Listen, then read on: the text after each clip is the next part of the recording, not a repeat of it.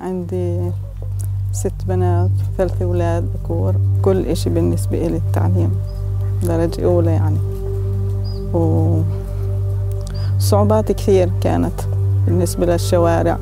طرق كلياتها ما فيش طريق مزفتة ولا إشي إلهم. كل يوم بدهم ينزلوا على المدارس ماشيين. ما فيش إشي يركبوا فيه. والشتاء أنت عارفة بكون وحلي و... ومي وأشياء على الطريق بتخوف يعني. وانت بضلك قلقانة متى طول الوقت.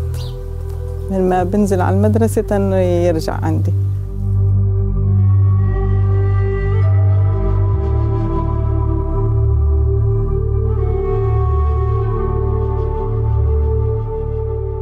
أم أحمد سعيد من قرية الجفتليك الحياة مش مستقرة لأنه الواحد بيكون خايف طبعا من اللي حواليه. لما كانوا يتدربوا الأولاد كانوا صغار يعني بقول لهم إنه هذا بتدربوا الجيش بعيد عنا فما تخافوش بخافوش بيناموا بس عشان يعني كبروا الأمر طبيعي صار بالنسبة لهم لأنه كل يوم كل يوم عادي يعني صار.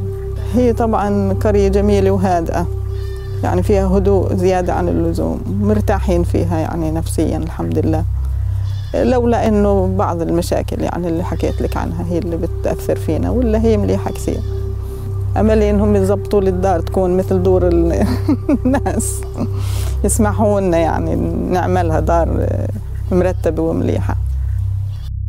بس.